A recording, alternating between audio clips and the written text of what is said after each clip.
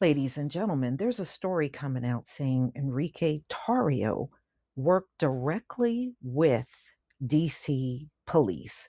But, you know, we all remember it was what, two years ago that it came out that he was an informant and he lost a lot of members of the Proud Boys. Well, he has since stepped down as the leader of that organization, but now it's coming out that he worked directly with DC police. Now, you might say, why would he work with them? Well, number one, we know these extremist groups have always been in cahoots with the police. We've all heard about how the Klan and the police are pretty much the same in America and along with other groups. So, what did he do? Well, during the time he was still the leader of the Proud Boys, he coordinated with Metro Police Department in Washington, D.C. to keep his people away from counter protesters. The claim raises alarm about the Metro Police Department willingness to work with far right extremist groups. It also highlights concerns for uh, left wing and anti racist group. Uh, they're claiming that the MPD focus more on their activities while ignoring the threats from the far right. So, what the police ultimately did, anything that these extremist groups did, they ignored. But anybody that was not them, then that's when they wanted to be out there, you know, ruling with a heavy fist on everyone else. But we all, who didn't know this about the police? We all knew this. We can tell by your actions. So, former National Policy Institute Director Evan McLaren gave Hate Watch emails showing MPD previously liaisoned with the white nationalist group National Policy Institute to ensure the safety of a planned event in 2017, months after the deadly far right Charlottesville, Virginia riot. McLaren publicly disavow uh, white nationalism in April. MPD did not respond to Hate Watch requests for comments. Well, we always knew, and, and make no mistake about it, a lot of these police officers themselves are part of these groups. That's why, you know, they're willing to help them out, but no one else. All right. So Tarrio claimed in a deposition that he would tell MPD officers, hey, I want to march to the monument. And they'll tell me, hey, there's counter protesters between where you are and the monument.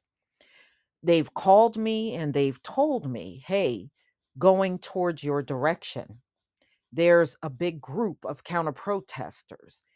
I'd leave that. So the police were literally tipping them off while they were marching eh, to go in other directions because counter protesters were about to approach them. So, I mean, wh- who's shocked over this? We know y'all do this. We know that, come on, we know y'all do this. And it's more than just this Metro Police Department. This is done all over the country. Tarrio said he would guide the Proud Boys away from counter protesters. However, Tarrio and the Proud Boys would engage in street violence against left wing and anti racist group. And they did this all the time. Tarrio was not present in the district during January 6th insurrection because MPD arrested him two days before the violent riot for uh, December 2020 vandalization of a Black Lives Matter banner at a historic Black church. The DC Superior Court convicted Tarrio and he served five months. Remember, he was screaming and crying to get out of there because the conditions are bad.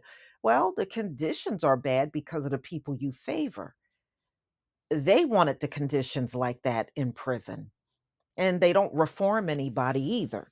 So you go in there to work and do their slave work. All right. So He currently faces charges of seditious, conspiracy, and other felonies, along with several other lieutenants, in relation to the January 6th insurrection. MPD previously placed Lieutenant Shane Lamond in the, you know, he's part of the Intelligence Bureau on leave while the department conducted an investigation into his alleged improper communication with Tarrio. So you got insiders inside of the police department helping these right wing extremist groups as they're marching and protesting on the streets. Well, I mean, we already know they don't do no real police work up in here, so why would we believe they would be doing the right thing? They won't. So, Tarrio's lawyer subpoenaed Lamond, who testified on their client's behalf in an upcoming trial. However, Lamond's attorney responded that Lamond was under investigation for potential obstruction and would plead the fifth. Right now, uh, not to testify and risk self incrimination. Hate Watch previously reported that roughly 26,000 MPD email threads dated from May 2011 to December 2017 that contained surveillance logs of demonstrations organized by groups like Antifa and DC Black Lives Matter.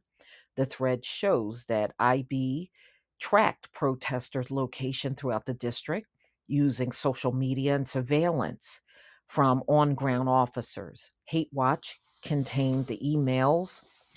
And, you know, I'm not surprised. I mean, look how sneaky and calculated these folks are.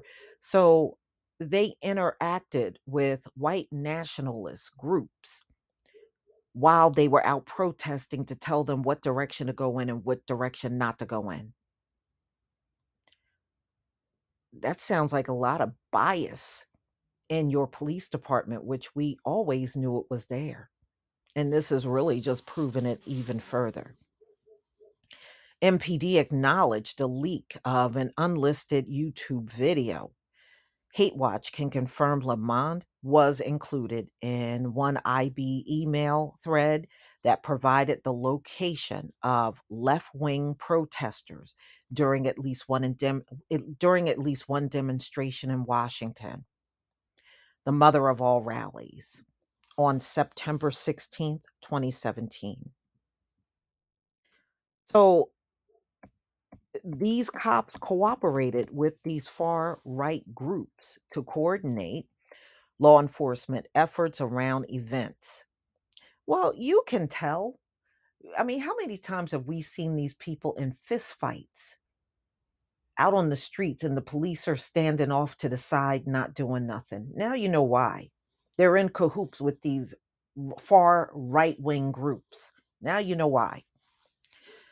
So it goes into Richard Spencer, the National Policy Institute, dating from 2017 and 2018. Spencer gained national prominence in 2016 by giving old white supremacists ideas of fresh suit and tie look during a national um, speaking tour. In the image crashing down after a deadly August 2017 Unite the Right rally in Charlottesville, Virginia. A neo Nazi ran his car into an anti racist protester, and we know about Heather Heyer being killed. And it was a bunch of other people injured. The event contributed to widespread cancellations of Spencer's speeches across the US. So, y'all, I, I'm sure nobody is shocked that the police and these right wing um, agencies all work together as one. And so this is just proving it. They sent messages back and forth, texting each other back and forth. The police telling them, okay, well, don't go in that direction because there's counter protesters here. Go down this street and then go around and go this way. So they're literally directing these guys on the street. And then you want to know why we don't trust police. You want to know why we don't trust them. We got every reason not to. And this is just more proof that they can't be trusted and they have all kinds of biases when they're out on the street with the people. We didn't need more proof, but this is definitely more proof. But y'all, please tell me what you think. And you know what? And, and just think about it. The FBI knows about this. The US Department of Homeland Security, they know about this and watch them do absolutely nothing as always. Just like they know all of these um, right wing extremists are in the police departments all across the country. They're aware of it. They'll write about it every now and then, but they won't do nothing about it. And this is just another situation. They're just babbling all up about it, but they're not going to do nothing about this. Those cops have been doing this for ages, and they're mm-hmm. going to continue to do it after their investigation is over. We all know this. Please leave your comment and subscribe. Don't forget to hit on the notification bell, and I'll see you on the next video. Peace, family.